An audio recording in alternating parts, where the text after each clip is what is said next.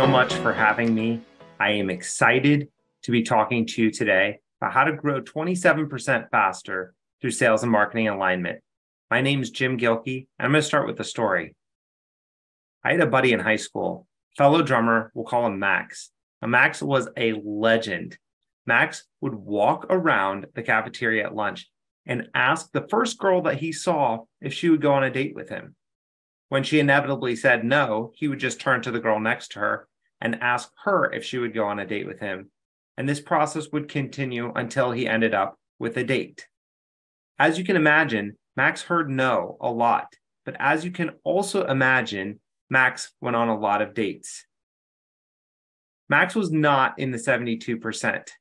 Now, what is the 72%? Any guesses? 72% of sales professionals don't expect to hit their annual quota this year. Now, Max was able to grind through a lot of no's to get to his yes. There are some salespeople that are willing to also grind, but are we making this easier for them or are we making this more difficult? So, who am I and why can I talk about this? I have worked in sales development over at Salesforce. I had a director of marketing role in my last job where I launched ABM and we had over a thousand percent return on investment. So much so that I reached out to Terminus and asked if I could work here to sell this platform that worked so well for me. And I also launched a show on LinkedIn and podcast called Account Based Beverages, where I try to grab the brightest minds in B2B marketing and interview them in six minute episodes, talk about their favorite drink, and give you something actionable that you can take away each week. But I am here speaking because only 47% of marketers feel like their ABM strategy is effective. Marketers are like this man. Water is seeping into his boat. And it's like marketers, where the gap continues to grow between their actual numbers and their goals. Now, this man bailing water out of his boat to try to stay afloat. It's kind of like marketing, throwing anything they can over the wall to the sales department to try to get them to close to get us closer to our revenue goal. The problem is the leads aren't closing. So, with this man, will bailing water continuously solve the problem of the hole in his boat? Or does he need to go directly to that hole and try to fix it? Now, in today's economy, deals are so hard to come by that we can't afford to let anything slip. We have to win every single deal that we can. And when you get a prospect to the table with the salesperson, what do you do now? Now, unless you're on a reality show like this one, which I cannot believe is a real thing, you aren't going to ask for the business the moment a demo request comes in. You're not going to marry somebody that you first meet. You're going to have to get to know them first, and they're going to have to get to know you. And as this super sophisticated graph shows, the further you get through the funnel, the more conversations that you have, the more confident you feel about a company's fit to be able to work with you, the problems that you're able to solve, and what is meaningful to them in getting this across the line. So there's three simple ways that you can impact your revenue today. Now, in order to make this a little easier for you to remember, let's just come up with an acronym because that's what we do in marketing, right? PSS. You want to personalize the message. You want to share insights between teams and you want to have a single source of truth. So with personalization, yes, this is how ABM might work for some companies. There are companies out there that spend $20,000 just on a research report about one company and a few buyers. And then they'll spend $100,000 setting up an experience for their buyer who loves golf to play around a golf with a PGA member. But that's not all of us. And we sure are not talking about this. Something that was novel 15 years ago can we just agree that this no longer cuts through the noise? Now, today I'm proposing two ways that you can personalize your message. One is by personalizing the message based off of the stage of the sales cycle. Just like a triathlon has three stages, you don't need the same tools when you're in the water as when you're running. The other way is to personalize based off of persona. Let's be honest, your CEO does not understand all the marketing acronyms. And while some people view the world through pictures, Others view it through ones and zeros. So, starting with the first, when you personalize by stage, consider the tools needed to move from one stage to the next stage. Different messages are going to be needed, just like the bike would be needed in the second stage of a triathlon, but it's not needed for the first or the third. You can see in this early on in this example, all of the content is around teaching and education. Then you get a little bit more specific as you start to understand and unlock in conversations what specifically is interesting to a prospect. And then when you move toward the end of the sales cycle, you get into case studies, hard ROI numbers, and third party validation to help make your point. Now, this idea of personalizing also applies before you get into conversation with sales.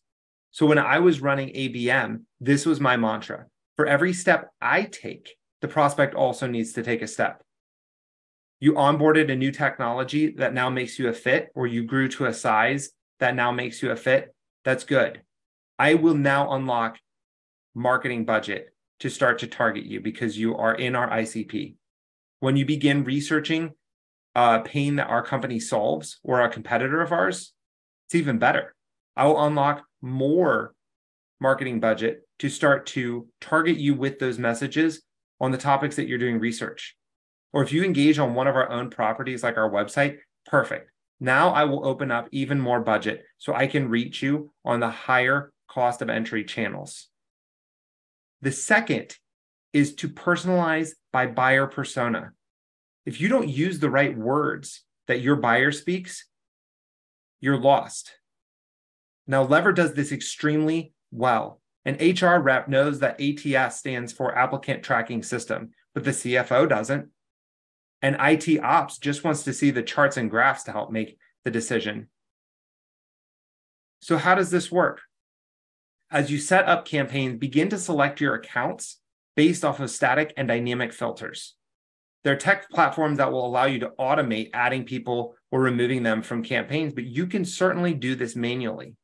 How do you start to mirror some of the messaging that they're already consuming in a way that marketing can attack them through advertising or other channels, and sales can attack them through providing resources in the conversations that you're having.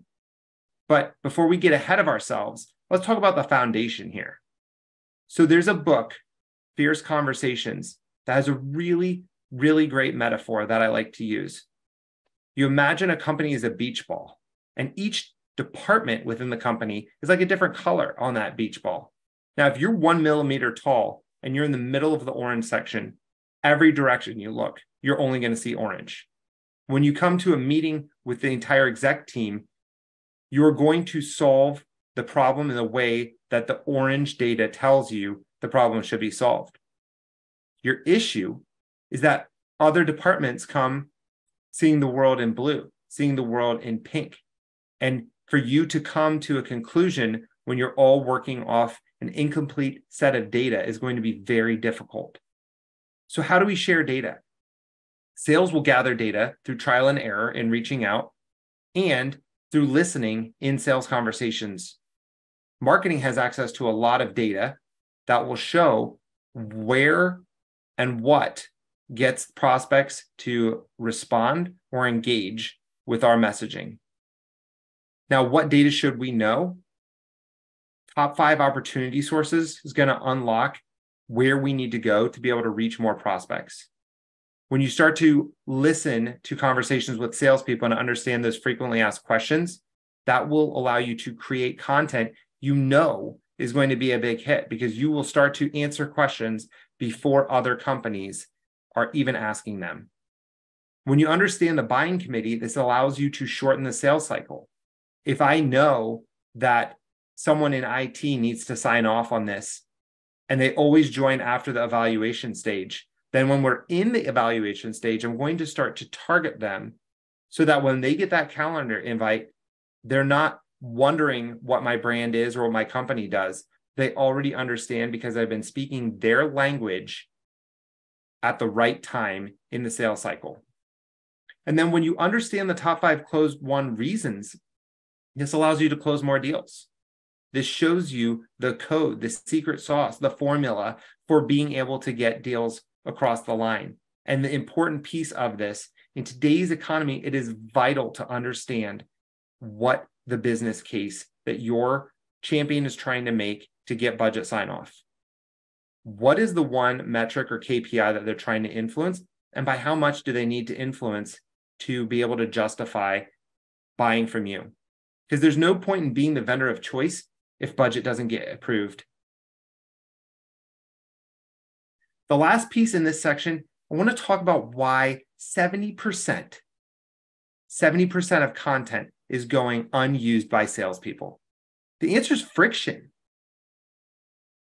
So when you're enabling sales, you need to be answering those basic questions. Why have we created this asset? When and where should this be used? And what is the trigger that sales needs to hear or look for in the conversation to know to leverage this asset? Because without the enablement, there's too much for the salesperson to go out and try it and find. And they don't want to have to teach themselves what each and every piece of content was created for or how this might resonate to somebody when they've not been a customer before they've only sat on the one side of the table selling so we have the data sitting in front of us the desired personalization on the other side and now this seems like a chasm as great as the grand canyon and how are we going to cross that to move from the data to be able to personalize? The answer is through a single source of truth. Have you ever played this game? This is called Spaceteam, and it is dubbed by the creators as a cooperative shouting game for mobile devices. Here's how it works everyone playing is on the same team. You're driving a spaceship. Everyone has a section of the control panel that they are in control of. And directions will pop up to help you move this spaceship faster to get away from imminent danger. But as you can see in this graphic, most of the directions don't apply to your section of the control panel. So you are constantly shouting out these silly names and whether somebody turns a dial or presses a button or flips a switch. And if you don't do it in time, then you lose as a team and your control panel starts to break apart as you see in the middle. How often do we in marketing and sales play this same game? We're working with an incomplete set of data. We don't know where to go to find the answers. We see terms or acronyms that we have never seen before. And now we're trying to make decisions for the viability of our business and bringing in more sales. So, how bad is this? Let's look at Revenue Marketing Alliance's state of revenue marketing in 2022 for this next quiz. 40%, what do you think it means? 40% of marketers surveyed claim that their systems are not optimized for alignment.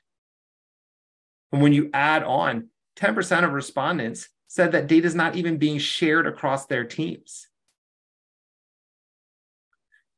So, where should the data live? You're going to have different sources. You could have call recording software. You could have notes that people are uploading into a CRM. You can also, on the quantitative side, have marketing automation and responses, ABM or attribution software pulling in any kind of engagement from these accounts. But where this shouldn't live is in somebody's notebook in a tool that only one person or one team can access. In my personal opinion, and for any of you that's a Lord of the Rings fan, the one ring to rule them all is your CRM. Everything needs to go to the CRM. These are built to integrate with multiple systems. They're built for multiple teams to be able to access and to make decisions based off of the data. So when you know an account is researching it's not because you went and logged into some super niche software you and one other person have access to. It is because that populates a field that is calculated in a score that will pop up on the account page for everyone to see. Here's just a few examples of things that you can start to take into account to be able to take action on as people start to engage with research online engage on your website, if they've had conversations with your team in the past, building all of these in a formula into a score allows you to then activate new campaigns when they hit certain thresholds. And also having a time bound factor on all of these is super important when you're talking about engagement because somebody engaging three years ago is not the same as somebody engaging today. If you want sales to take action, if you want marketing to take action, has to be accessible. Accessible equals actionable.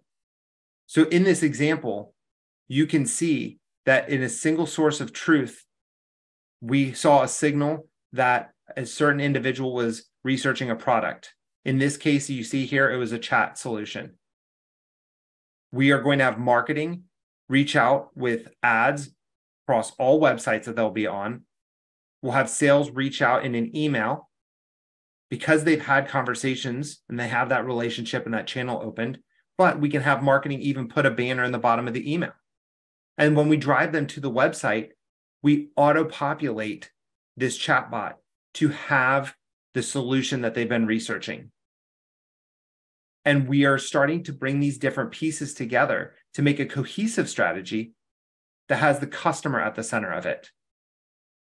When you don't have a single source of truth, some people don't receive the data while others receive it late. AT&T had this amazing Super Bowl commercial a few years ago that's just stuck with me. An employee calls out his coworkers for not inviting him to a taco party. This employee makes a huge scene even calling out his friend for inviting someone that neither of them even like. Only then does he receive the invite, which was some reason delayed, and now he sheepishly has to apologize to everybody. Now, there are probably another five things that I could add to this list, but in order to keep this short enough and easy for you to remember and take action on, I leave you with PSS. You want to be personalized, you want to share information and have that all housed in a single source of truth. And when you can do this, aligned sales and marketing teams have 24% faster growth rates and 27% faster profit growth. This, my friends, is 100% in your control. Thank you so much if you'd love to continue the conversation, send me a LinkedIn request. You can search Jim Gilkey on LinkedIn or scan the QR code. And I appreciate you taking the time to listen to me at the Demand Generation Summit. Thank you.